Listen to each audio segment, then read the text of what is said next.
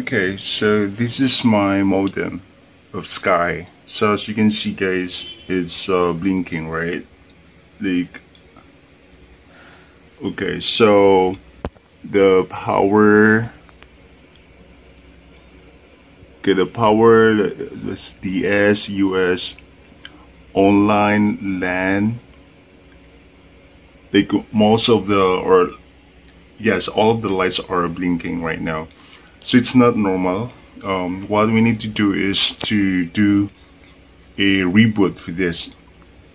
So the step is just so easy guys.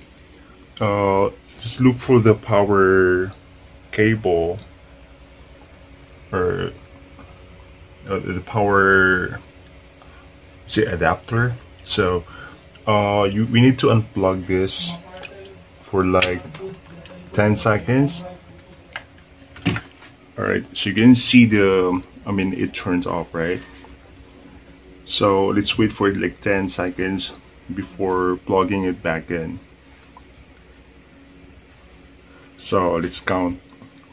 10 9 8 7 6 5 four, three, two, one. All right, so let's uh, uh, plug it again.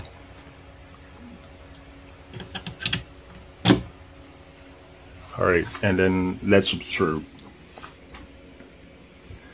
So at first, the they are blinking again. So let's wait for it to uh, be steady All right. it, it should not be flickering anymore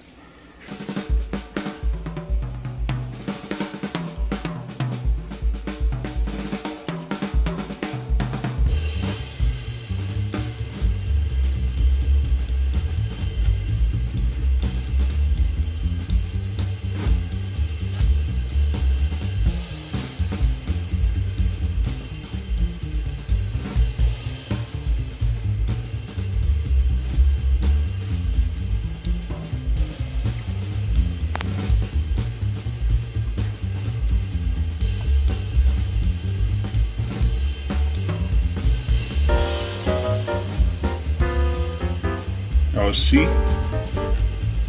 Oh.